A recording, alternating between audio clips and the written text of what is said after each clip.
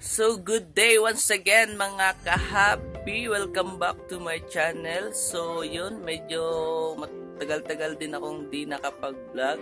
So ngayon, may gagawin tayo dito sa munting palaisdaan ko.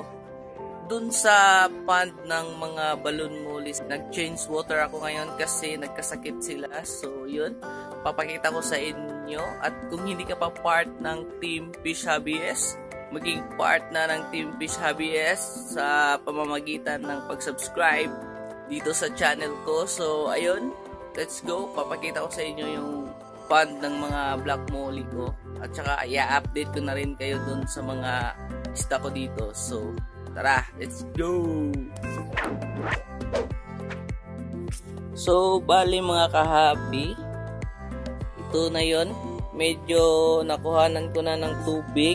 Nasa mga 50% yata yung tubig na nakuhanan ko. Bale yung mga molis ko dito nagkasakit. Tingnan nyo yan. Tingnan nyo pag pag ganyan lumangoy yung mga molis nyo mga kahabi may sakit yan.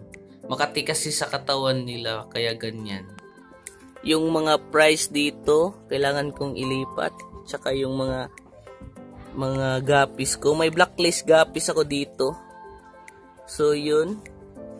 Bali maghahanap muna ako ng paglalagyan ng mga price ng mga mulis ko dito para hindi sila maano mahawaan ng sakit. So yun mga kahabi. Yan.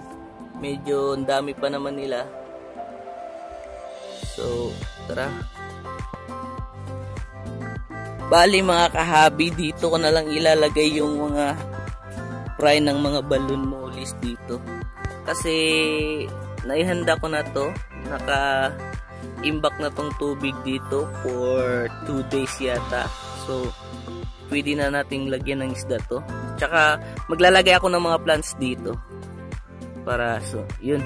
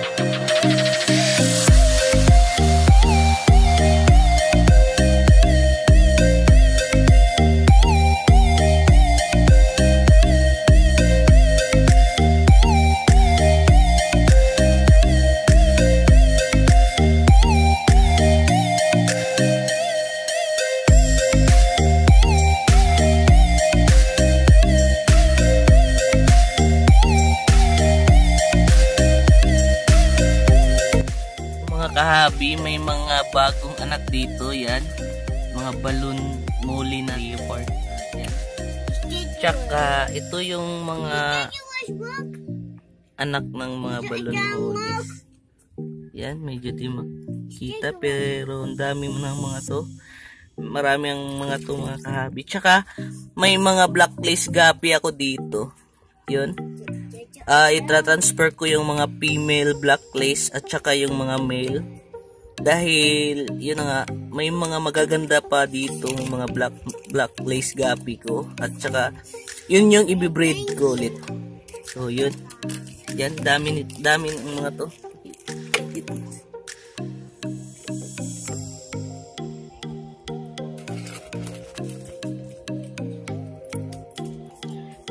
Ito yung mga price ng mga balloon mollies mga kahabi yan. So bali mga kahabi no? Kinuha ko yung mga plants at saka yung banana leaves para mas madirect yung araw dito. Para mas mainit yung tubig. Tsaka yun madali silang gumaling sa sakit nila. At saka paano nga paano ko nga ba papagalingin or kinocure yung mga sakit ng mga isda ko. Simple lang mga kahabi change water tsaka lalagyan mo ng asin. Yun lang. Tapos every other day chini-change water mo tapos nilalagyan ko ng asin. Yun lang ginagawa ko para gumaling yung mga sakit ng mga isda ko. So yan. Yes what? Oh say hi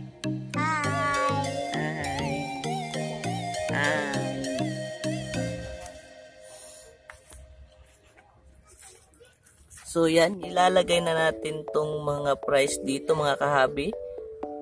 Pero unti-unti mo nang lalagyan natin ng tubig to para hindi sila magka-water shock. So ganyan lang. So yan, dami nila mga kahabi. Tsaka may mga gapis dito.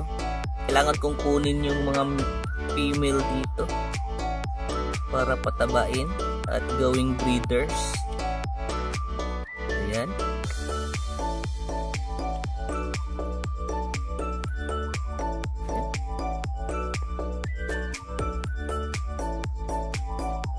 Nasa ilalim pa yung ibang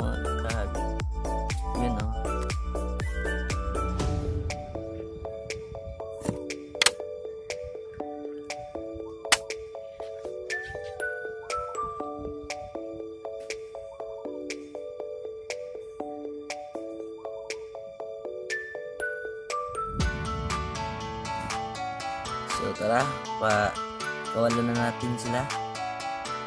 So yun, unti-unti.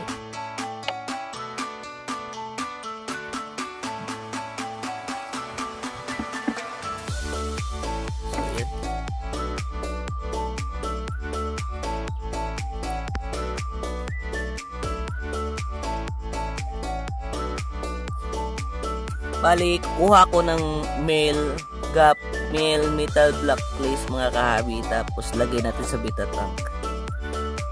So yun. May natira pa doon mga kahabi so kukunin ko yung iba doon tapos tatransfer ko dito so ito yung mga black lace gapi ko mga kahabi ito yung ito na lang yung natirang mga black lace dito sa akin.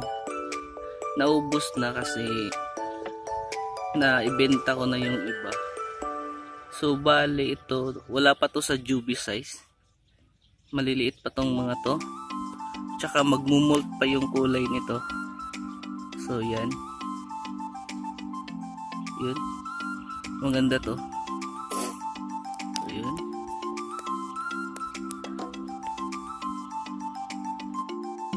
so ayan mga kahabi. Nilagyan na natin ng tubig pinuno na natin ng tubig yung pond kasi nga nagbawas na ako ng 50% sa sa tubig ng pond na to para lagyan ng bago.